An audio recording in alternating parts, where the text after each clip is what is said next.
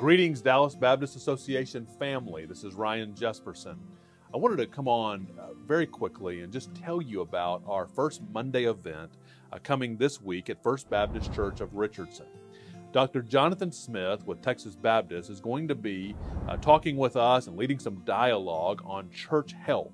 And I'm excited about the opportunity that we have to hear him.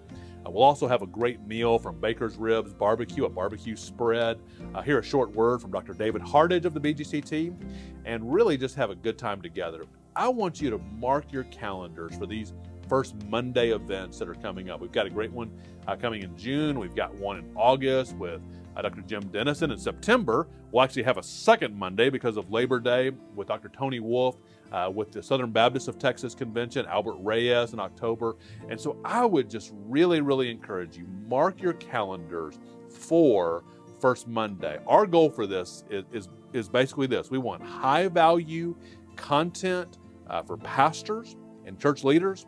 We want great food. We're always going to try to have that.